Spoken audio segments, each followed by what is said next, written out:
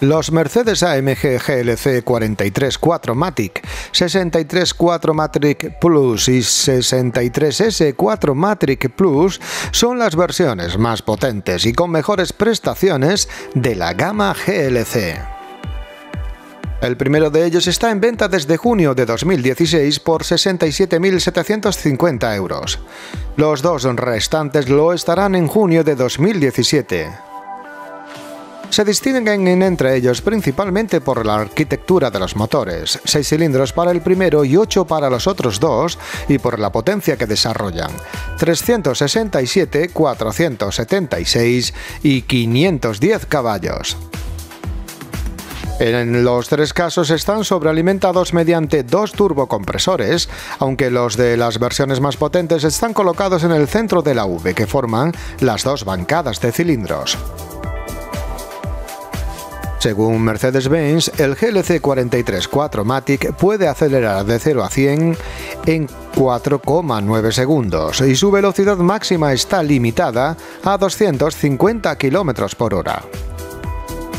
Los GLC más potentes 63 y 63S son lógicamente más rápidos, acelerando de 0 a 100 tardan 4 segundos y 3,8 segundos respectivamente, pero alcanzan la misma velocidad máxima que en todos los casos está limitada electrónicamente.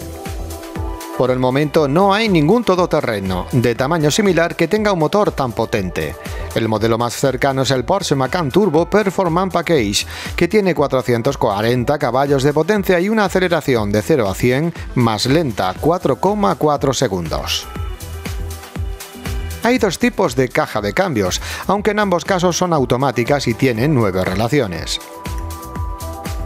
La que lleva la versión 43 4MATIC es similar a la que utilizan otras versiones de la gama GLC, pero la que usan las versiones 63 y 63S es ligeramente distinta, porque utiliza un embrague multidisco húmedo como elemento de unión al motor en lugar de un convertidor de par, solución que, según Mercedes AMG, ahorra peso y disminuye el tiempo entre cambio de marchas. También son ahora distintos los asistentes de tracción total, en el que llevan las versiones más potentes es similar al que Mercedes AMG ya utiliza en los E63 4 Matrix Plus y se caracteriza porque en función del modo de conducción seleccionado puede distribuir la potencia del motor de manera continua en los dos ejes en función de la adherencia o transmitirla toda al eje posterior. El sistema de la versión 43 4MATIC en condiciones normales transmite más potencia al eje posterior que al delantero. La relación es de 69-31. Bajo la denominación AMG Dynamic Select, Mercedes-Benz engloba cuatro programas de conducción. Comfort, Sport, Sport Plus e Individual. En el caso de la versión GLC 63S 4MATIC Plus, añade uno adicional llamado Race. Este modo está pensado para derrapar porque desactiva el control de estabilidad y porque el sistema de tracción envía toda la fuerza al eje posterior. Con independencia del modo elegido, el conductor puede seleccionar el programa manual del cambio de marchas. La amortiguación de las tres versiones es neumática Air Body Control y tiene tres ajustes de dureza. También ha revisado la elastocinemática, tanto de la suspensión delantera como de la trasera.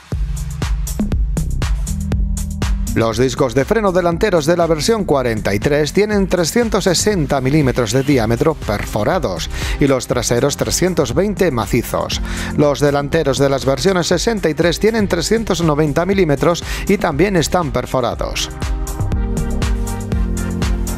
Mercedes AMG diferencia la carrocería y el interior de estos modelos con detalles decorativos exclusivos.